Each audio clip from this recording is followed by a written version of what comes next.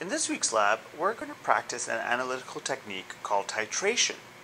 Titration is a technique where we can take the, uh, by carefully measuring the volume of a quantity of known concentration, we can calculate the concentration of uh, another uh, material that has unknown concentration but known volume. So uh, basically, we're going to do just part A of this lab where we're going to figure out the concentration of vinegar, uh, the concentration of acetic acid in vinegar, rather, uh, by titrating it with sodium hydroxide. In order to do our calculations later on, we're going to know, need to know the concentration of sodium hydroxide we're using. So, so please make a note of this concentration, uh, the molarity of sodium hydroxide, uh, labeled here on the bottle. Um, that's going to come in handy when we start uh, trying to do our calculations to figure out our concentration of vinegar. Now, in this lab, we're going to figure out both the molarity of our vinegar uh, of our acetic acid in vinegar, uh, as well as the percentage mass per volume, or mass volume percentage. Um, if we want to, uh, you know, get a little spoiler here, uh, you can see that this is actually labeled on the bottle. So uh, you can see that this is actually 5% vinegar, uh, or 5% acetic acid in the vinegar, rather. Okay, so uh, this is a great way to check your work uh, at the end of the lab. When you're doing your calculations, hopefully you should wind up uh, with your answer somewhere in that ballpark for percent m slash v. Okay. Uh, of course, again, don't forget we are doing two concentration calculations for our vinegar, uh, both molarity and percent m slash v. Uh, this will help you confirm one of them, hopefully. Okay, and of course, hopefully if you get that one right, then that means that your other calculation for molarity is also correct. In order to carry out this, uh, these calculations for our titration, um, I mentioned that since we don't know the concentration of vinegar, and we're trying to find that out, we need to be careful about measuring the volume of vinegar. Okay, that's going to you know be very important for trusting our calculations. So we need to measure out five milliliters of vinegar here, uh, and we're going to be very uh, precise, or rather very accurate with it, uh, by using a um, a pipette and a pipette bulb. Uh, which you recall from uh, an earlier lab, uh, allow us to measure volumes very, very precisely and very accurately. Right, so I'm going to start off by uh, pouring some vinegar into a graduate, or sorry, into a beaker here. Uh, that'll make it a little bit easier to to deal with with trying to get a volume of vinegar. Plus, it prevents me from contaminating our stock bottle of vinegar here. Let's pour some into a beaker. We're going to need like three trials, uh, need to do three trials here, so probably need about 15 mils or so of vinegar. Um, so I think I've probably got, yeah, I've definitely got more than enough in there. Okay, so taking our clean dry pipette, we'll go ahead and add our pipette bulb to that. Um, I'm going to actually take off one of my gloves. If you remember from my earlier video on this, uh, it's hard to adjust the volume um, with a gloved hand. I find it easier to form a seal uh, on my um, on my pipette using my bare thumb. Uh, so uh, again, you know, generally you want to wear uh, you know gloves in lab, but in this case we're not dealing with anything too harsh or any uh, you know even our sodium hydroxide for that matter isn't. Uh, super high concentration. So if I get anything on my hands, I can, you know, I can probably wash it off, you know, without damaging my hands in between. Okay, so let's start off by, by getting our 5 milliliters, or rather go past our volume here. So I'm going to draw up vinegar into my pipette, but not get it into the pipette bulb. So I'll get it right there. Alright, and now I can adjust uh, my, um, using my thumb to gradually lower uh, to gradually release the, uh, the hold I have on the opening of the pipette, I can slowly release some vinegar and try and get the volume marking uh, to that zero point on the pipette.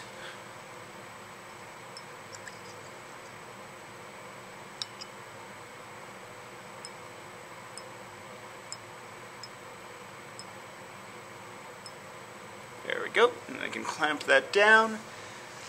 So if, uh, if you want to have a look at it, I don't know if this will be very visible, uh, being too blurry, uh, but you should hopefully be able to see, see if I can zoom out there. Hopefully you should be able to see the lower meniscus of that marking um, on our um, on the zero point of the pipette. Uh, there we go. Hopefully that's less blurry. Okay, so I will then back down here so you guys can see that. Okay, I'm then going to add my five milliliters to a an Erlenmeyer flask. So I just lift up my thumb, which I guess you guys can't see, really see me doing, but lift up my thumb and will add five milliliters of vinegar to my Erlenmeyer flask over here. Okay. Now your directions say that you can add water to this. Um, that will increase the volume, and so sometimes it makes it a little bit easier to see uh, a reading. Um, it's not really necessary to do that. Uh, the important thing is that you have enough. Um, you have five milliliters of your original stock of vinegar in this Erlenmeyer. Uh, adding water to this um, it will dilute the concentration, but since you're basing your calculations off the vinegar that you measured here, uh, that adding that extra water actually doesn't affect your calculations. All right, so uh, so you can, if you're doing this lab, you can add water to help uh, increase the volume to make it a little bit easier to see. Um, I personally like using this smaller volume. Um, since the concentration is a little bit higher, it's sometimes easier to see the color change for me. Um, I'm sure either one doesn't really matter. So, so I'm going to leave it the way it is. But in case you're reading the directions and are wondering, you know, why I didn't add water to this, that's why. Okay.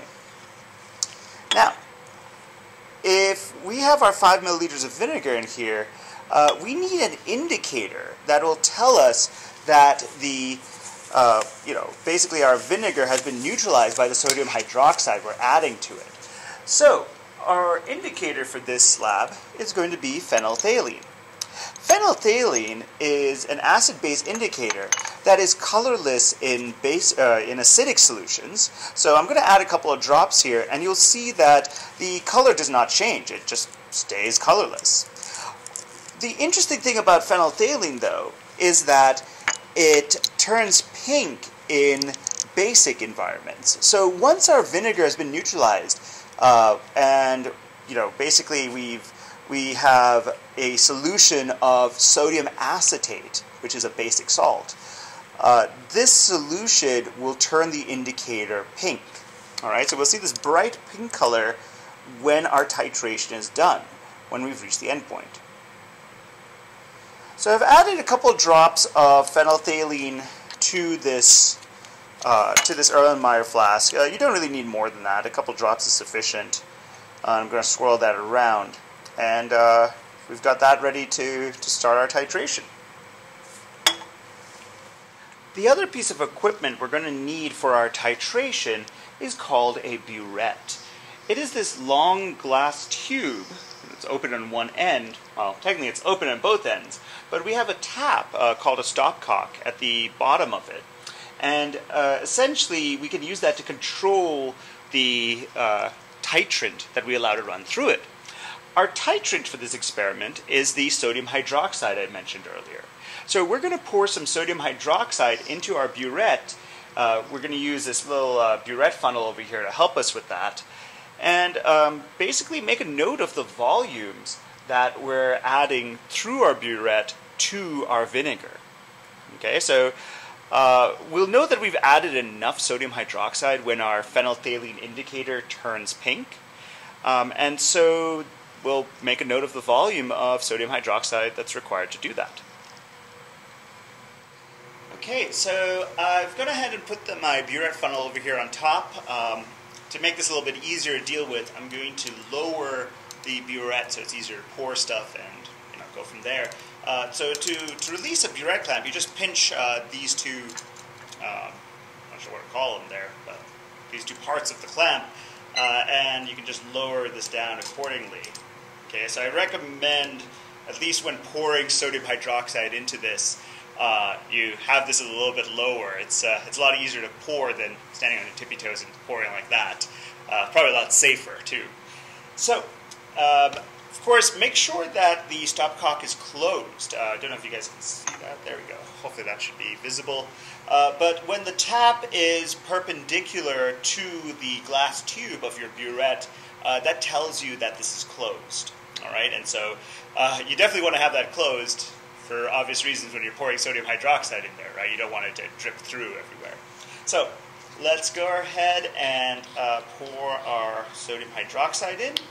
Um, I find that uh, given the narrowness of the uh, of the bore of your burette, uh, if you just pour in your sodium hydroxide with your uh, funnel just sitting here like the way it is, uh, it tends to uh, not allow the air that's in your burette to escape, um, and so you tend to overflow from the funnel itself.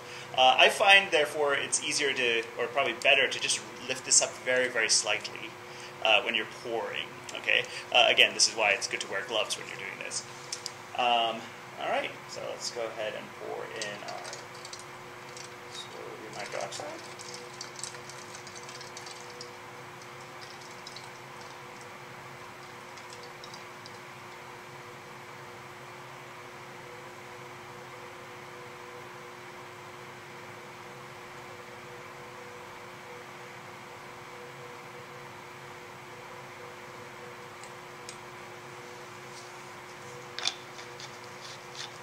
Okay, now a couple of things to note here uh, regarding our uh, our setup. Um, I don't know if you can tell from uh, with the webcam all the way back there, but I've basically gone past the, the zero marking on my uh, on my burette.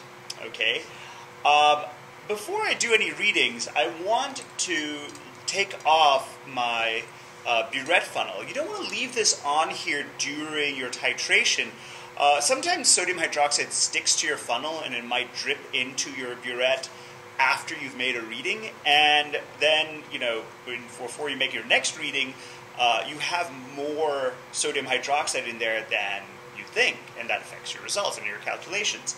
Uh, so we're going to take off our funnel. I'm just going to set it down here on this paper towel. Okay, leave that there for now. Okay. Now, I mentioned that I've gone past the zero point uh, on my burette, and that's okay for now, because the first time you fill up a burette, there is a little air bubble inside your burette down here. Okay?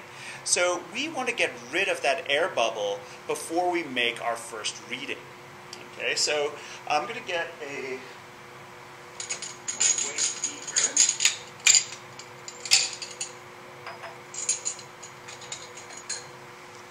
So here's a beaker I'm just going to use for waste, all right? Uh, let's uh, lift this up so I have room to put the beaker in there. Okay. I'm just going to lower this down a little bit.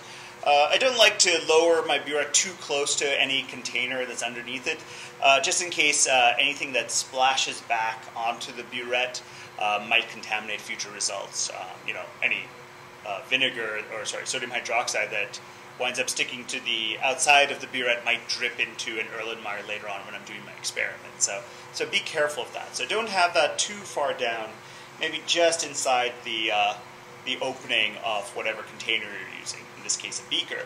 So I'm just going to open this up and drain out some of my sodium hydroxide, and that should hopefully get this air bubble to disappear.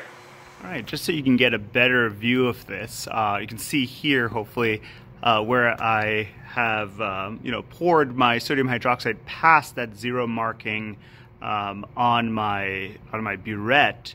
Uh, obviously, I don't want that there for the actual titration, but I wanted to overshoot that because I want to get rid of the air bubble that's in here right now. Now, you can't really see that air bubble uh, because everything's colorless, but hopefully once I turn this and run some sodium hydroxide through, you'll see that air bubble disappear. There you go. You can see it now looks a little bit different uh, than, uh, than when we started out there okay? Um, as long as we don't run out of sodium hydroxide, uh, this air bubble is now gone as long as we, we keep some sodium hydroxide solution in our burette. So this is the only time we actually have to do this, this step. So uh, whenever I refill my burette from now on, uh, I don't have to go past that zero mark. In fact, I really shouldn't. Now, if I look at that level, uh, you can see that I'm still past the zero, and that's not good. We uh, want to be able to, to read our volume, and there are no volume markings past that zero point.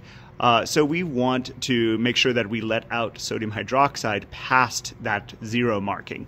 So I'm going to go ahead and do that. Now, I don't have to, you have some students who are super careful here and make sure they get, uh, they're reading exactly to the zero. Um, I mean, you can, and I guess that makes it easier to subtract uh, since you're just subtracting a zero to start off with. Uh, but to be honest with you, it doesn't really matter. Uh, as long as you make careful note of your initial volume, um, it doesn't really matter what that initial volume is. So I'm just going to run out some sodium hydroxide there. There we go.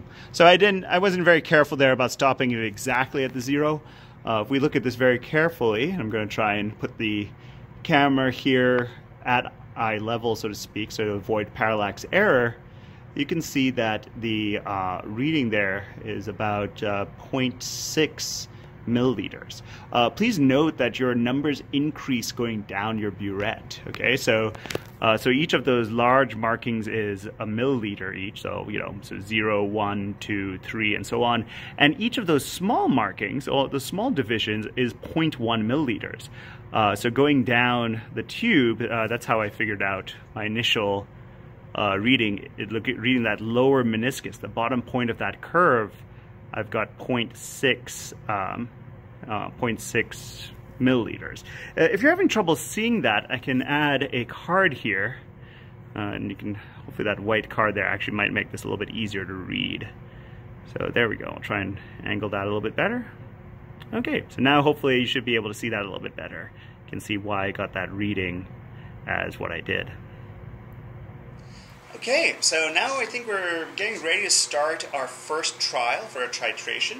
So um, I have my Erlenmeyer flask from earlier that had my uh, five milliliters of, of vinegar, and it's got a couple of drops of phenolphthalein in there. Okay, in my in my burette, I have sodium hydroxide, and I know the concentration of that sodium hydroxide. Uh, it's going to be very important for calculations later on. I want to swap out this uh, beaker now that I've gotten my, rid of my air bubble. Uh, I want to take uh, add my Erlenmeyer flask in here. Um, if it's easier to move things out, you could just you know raise and lower this burette, uh, or you could tilt whatever you're removing or adding and put it in like that. Okay. Uh, again, you don't want your burette too far down. I mentioned you don't want any splashback onto your burette. Uh, it's just going to contaminate your burette and probably influence uh, further further trials, which we don't want. Uh, so I'm going to make sure that I raise my burette a little bit higher. Um, I want this in such a way that the uh, tip of my burette is not above the opening of my Erlenmeyer flask. It's, it's definitely inside the flask, uh, but at the same time I don't want it all the way down too far. Okay, so here's just inside the, uh, the opening of my Erlenmeyer. Okay, so here's a closer view of uh, what I was uh, mentioning just now. You can see that my uh, the the tip of my burette here is just inside, uh, you know, the opening of my my Erlenmeyer flask. So that that flask isn't really going anywhere, uh, and so I don't have to worry about any drops of sodium hydroxide falling outside of the flask. Okay, which is kind of important. Uh, another thing I'm going to do to help uh, make this a little bit easier on us is I'm going to add a uh, piece of paper here and I'm going to put it underneath my Erlenmeyer flask. It's going to make it a little bit easier uh, to see the color change we're looking for. Uh, remember, we're looking for that sort of uh, pink color that's going to uh, you know, tell us that all of our vinegar has been, uh, has been neutralized by the sodium hydroxide. Okay? All right. So let's go ahead and add, uh, you know, start doing our titration. So I'm going to lift, lift, this up so you can see how I do this. Uh. All right. So uh, typically, the way you handle a titration uh, is if you're, um, you know, this is set up so that you're, if you're right-handed, uh, you've got the readings over here in front of you, of course. Uh, you use your dominant hand, and in this case I'm right-handed, to control the stopcock. That way I have like a little bit more control, uh, you know, to, for turning it on and off. Uh, you use your less dominant hand, so in this case my left hand, uh, to swirl this flask while the experiment's going on. Okay, uh, here let's bend that a little bit so way you guys can see that color against uh, against this Erlenmeyer flask. Okay, so there we go. Should make that a little bit easier to see. Okay. All right, let's get started. Now, as I start running some sodium hydroxide in there, you can actually already start to see some pink color showing up where the uh, sodium hydroxide hits the solution. Okay, but now watch what happens when I swirl this. That pink color immediately disappears. Now, the reason for this is that, that those localized drops of sodium hydroxide hitting that solution are neutralizing the, uh, the vinegar, the, the acetic acid, in those localized regions. And that's where you're seeing that pink color. However, when I swirl the flask, the surrounding vinegar that wasn't neutralized is coming in and using up that sodium hydroxide. Uh, so you could think of this in terms of a limiting reactant uh, uh, sort of point of view. Uh, right now, we have an excess of vinegar in there. Okay, that pink color is only going to stay when sodium hydroxide has used up all of our vinegar, and sodium hydroxide now is our excess. Okay, we, we want the, the vinegar to be our limiting reactant here. Okay, so we're going to keep on adding sodium hydroxide. So as we add sodium hydroxide, okay, so I'm just going to add this and keep on running this. You can see that as it continues to keep on swirling this, that pink color is disappearing relatively quickly. But you can see that uh, I don't know if you noticed that just now. I stopped this just so that I have some time to react here. Uh, that pink color started staying a little bit longer, no matter how much I was swirling it, right? Uh, that's telling me that I'm getting closer to the endpoint, so I probably want to be a little careful here, okay? Uh, I was adding a whole bunch of sodium hydroxide at once. Uh, you can set this up, you know, if you turn the stopcock just slightly, Okay, uh, basically, if the stopcock is completely parallel to the burette, that means it's fully open, right? But if we turn this slightly, so let's see if I can do this here. There we go, very gently there. Now I've set it up so that it's releasing a drop at a time. Okay, so now I can be a little bit more careful uh, about the uh, sodium hydroxide that I'm adding.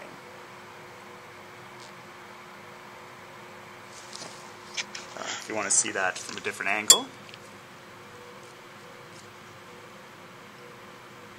you can see though we're still quite far from the endpoint. The, the fact that just a little bit of swirling causes those that pink color to disappear pretty much immediately uh, kind of tells you that uh, we're probably not by the endpoint. This first trial is going to be a little bit rough because we don't know where the endpoint actually is. All right, we're probably going to overshoot this if I'm not careful, uh, and that's okay. That's why we're doing three trials. Uh, we're going to take the uh, the two trials that uh, that best agree, that seem the most uh, probably the most accurate. Uh, which are usually the second and third trial. So even if we aren't completely accurate on this one, that's okay. All right. So uh, I'm going to go ahead and set this down and just increase our um, our flow rate here just so that uh, we don't spend forever doing this first titration. Because again, that's the whole idea of doing that first titration a little bit rougher so that you know you get an idea of roughly where to aim for.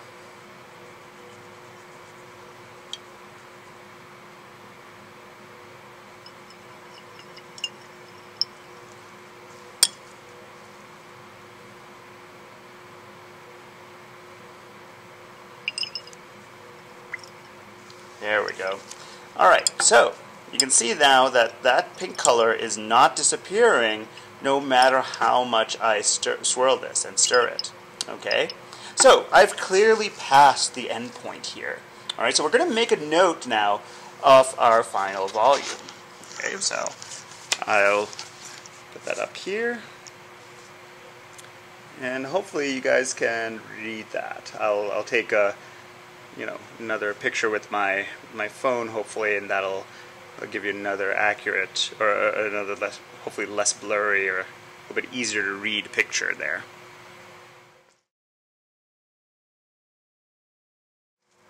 as I mentioned, we've kind of overshot the endpoint here, right? We this is this pink color is staying, but I don't know at what point this pink color showed up first, right? Uh, was it the drop right before this? Was it like a couple of drops before this?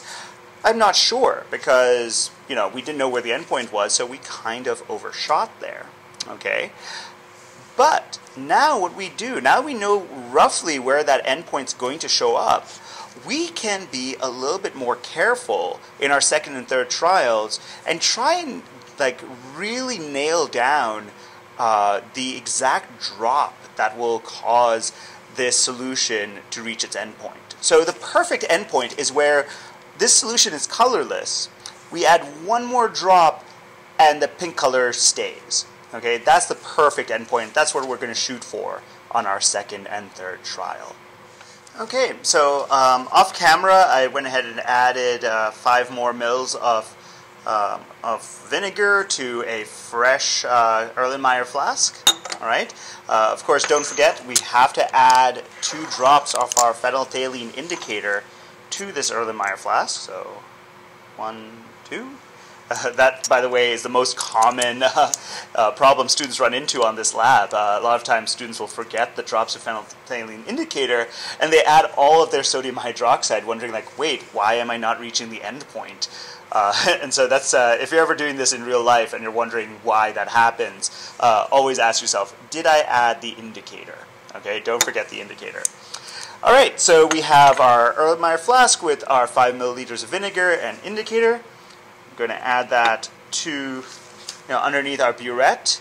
Um, I since we used less than half of our 50 mils of sodium hydroxide that was in this uh, burette, uh, I'm not going to bother topping off my burette at this point. Uh, I'm just going to use the same uh, volume uh, that we stopped at. Uh, we're, we're going to start at the same volume we stopped at with our previous trial. Okay, so so make a note of that for your initial reading for the for trial number two. Okay, now I mentioned earlier that because that first trial is a little rough, its purpose is not so much necessarily to give us a right answer, but to tell us where do we aim our next couple of trials. All right, so uh, you saw that I added roughly about 18 milliliters of vinegar. Okay, so I'm going to make sure that I'm going to add about, I don't know, 16 milliliters or so. Uh, and I can add that really quickly without really paying attention. And at that point, I'm going to start being very careful about how much sodium hydroxide I add. Okay? So let's keep that in mind for this trial. So, so right now we're at about 18 and a half, uh, a reading at about 18 and a half. So if I add 16 to that, uh, that's what, 34 and a half? Um, so let's just run this down to, to 34. So here, actually, I can show you that. Okay, so we're starting off at that, that initial, you know, um, roughly about 18 and a half. We're going to run this down to somewhere about here, um, you know, to this, to somewhere in that ballpark, and uh, we'll go from there. Okay.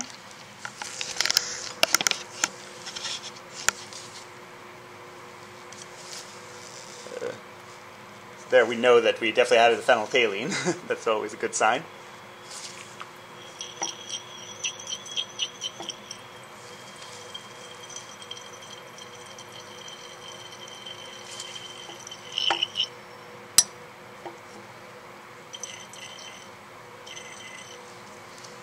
Okay. Yeah, there we go. So we know I, have uh, gone to about, I think that's, whoops, I think that's about 34 and a half or so. Again, we don't have to be super, you know, um, accurate here. uh, just because we're not done yet. You can see that uh, when I swirl my Erlenmeyer flask, it still stays uh, colorless, which tells me that I have not finished neutralizing my sodium hydroxide or my vinegar yet with my sodium hydroxide. So let's uh, let's you know continue adding some sodium hydroxide, but let's be very careful here about uh, how much we're adding. So I'm going to add again probably about a drop at a time. Whoops, maybe slow that down a little bit.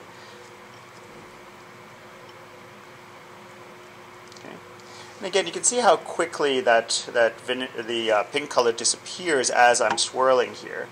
Okay, I don't know if you guys can, uh, if I pull this back a little bit, you can see me uh, holding onto, you know, I've got my hand ready to stop uh, the flow of sodium hydroxide as soon as I realize the endpoint's close.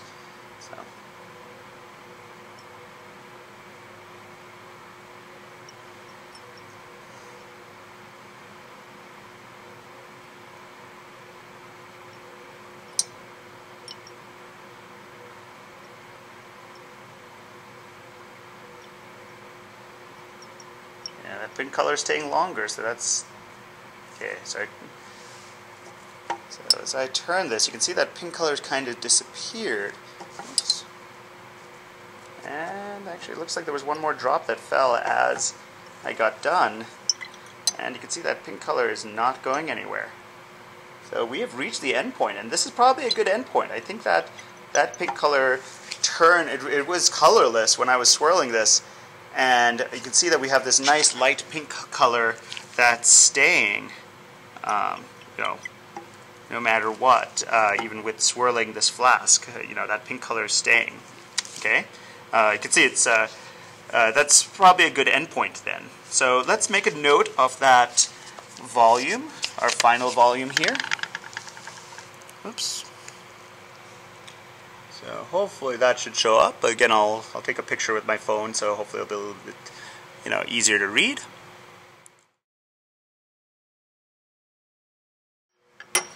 All right, so uh, again, off camera, I've added uh, five milliliters of, uh, of vinegar to my Erlenmeyer flask over here.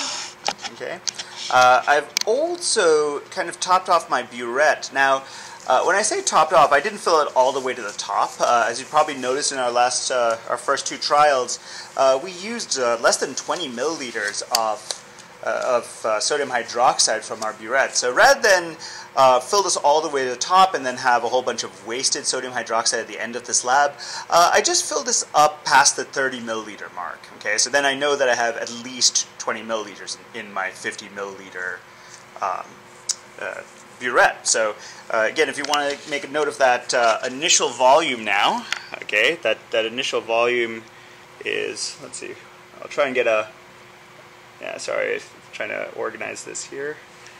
No, so basically, hopefully you should see that, uh, and I'll try to get that at avoiding parallax error. Uh, and of course, I think I'll include a picture from, uh, from my phone that might uh, make that a little bit easier to read. Okay, so let's, uh, oops, nearly, nearly made the cardinal mistake of forgetting to add my phenolphthalein indicator. That would make this last trial very rough indeed. One, two, add a couple of drops in there. Okay, that's much better. Let's roll it up. Okay, so last trial. We, we want to try and nail down uh, what our our volume's going to be. And uh, so yeah, so let's go ahead and uh, start running about uh, I don't know about 16 milliliters or so, uh, just to you know go from there. Okay, so if we started at about 27 milliliters. Uh, if we add 16 to that, that should get down to about um, 43. So let's let's run this down to about the 43 mark here.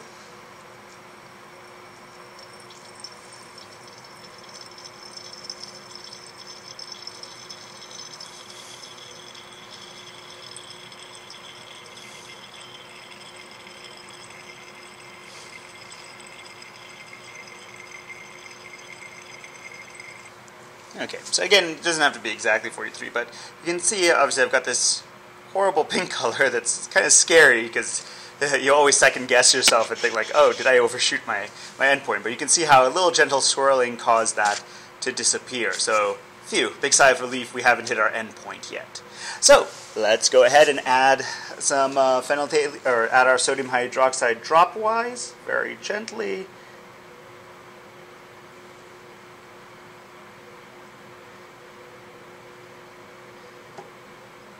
Keep an eye out for that endpoint. So as soon as I see that endpoint, I'm going to clamp this shut. Now, as soon as I think that this is, that pink color is lasting a little too long,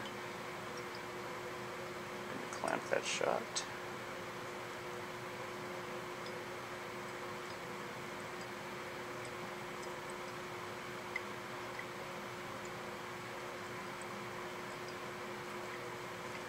You can see that pink color is definitely lasting a bit. So again, it stayed clear so far, so that's a good sign, or colorless, I should say. Um, it's colorless, uh, so that tells me I haven't quite reached the endpoint yet. Let's add one more drop and see what happens. Actually, I don't know if you can tell, but there's like a little drop clinging on there. Uh, so hopefully that comes loose. If I, oh, there we go.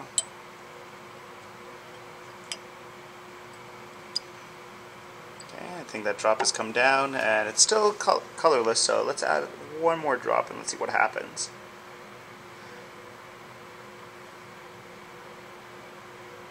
Very gently. Wait for it. Go. Let's see what happens. Uh, nope, not the end point.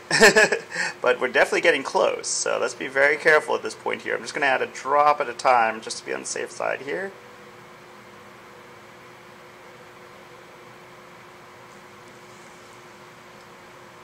Ooh, again, we're getting pretty close. Drop. Oh, there we go. So that's what I meant, like when you add one more drop and that pink color stays, you know. That's, that's the perfect endpoint right there. Okay, so let's again make a note of that, uh, that final volume. So, I'm trying to, trying to coordinate a webcam here and try and get that legible. There we go.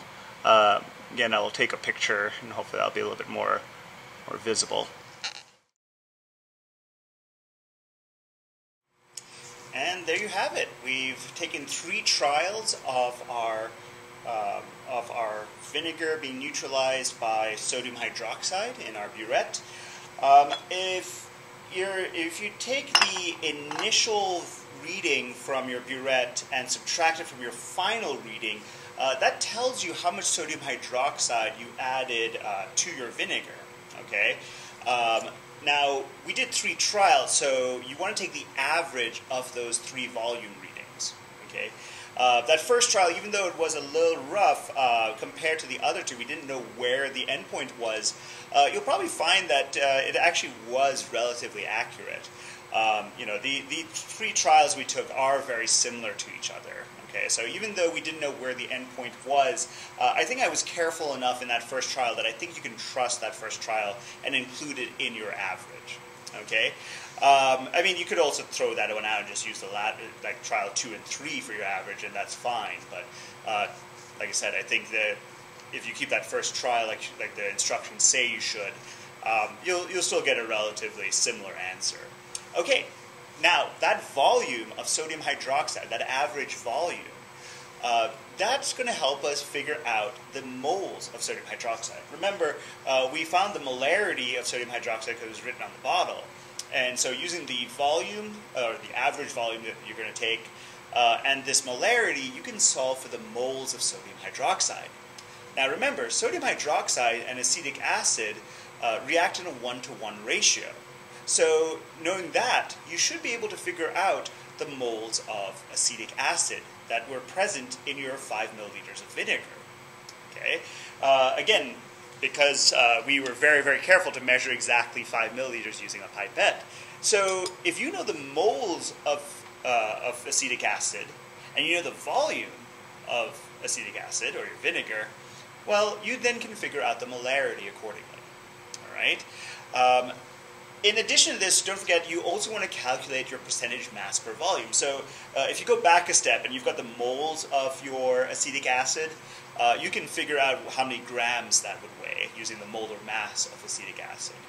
Uh, divide that by your volume uh, and figure out that as a percentage, and you've got the percent m slash v. And of course, this is a great way to make sure that you're doing your calculations correctly, uh, because if you recall, uh, it was written uh, on the back of the bottle. So if you get an answer close to the, uh, the one listed on your bottle, you know that you've probably done your calculations correctly. Okay? And, of course, your lab manual does walk you through these calculations as well. So please refer to those uh, if you get stuck. And as always, uh, you know, if you have any questions on this, just let me know, uh, or let your instructor know if you're not one of my students, uh, and I'm sure we'd be happy to help you out. All right, so uh, normally uh, this is where we'd stop, uh, and uh, there's a second part to this lab involving a back titration uh, of an antacid. Uh, we typically skip that part uh, just because we, when we're in person, we use the second half of lab uh, to let everyone check out of their lab drawers. So I'm not going to do that part of the lab here. We're just going to have part A, and so once you've done that, hopefully you're done. All right. So with you know, again, we'll leave that up to your instructor. They might have you do the calculations for Part B. Uh, I'll, I'll, leave it up to individual instructors to, to see how they want to handle this. Uh, that being said, uh, as always, if you have any questions, let me know. And uh, that's it for, for lab. Uh, so thanks once again for joining us for this semester, and go Timberwolves!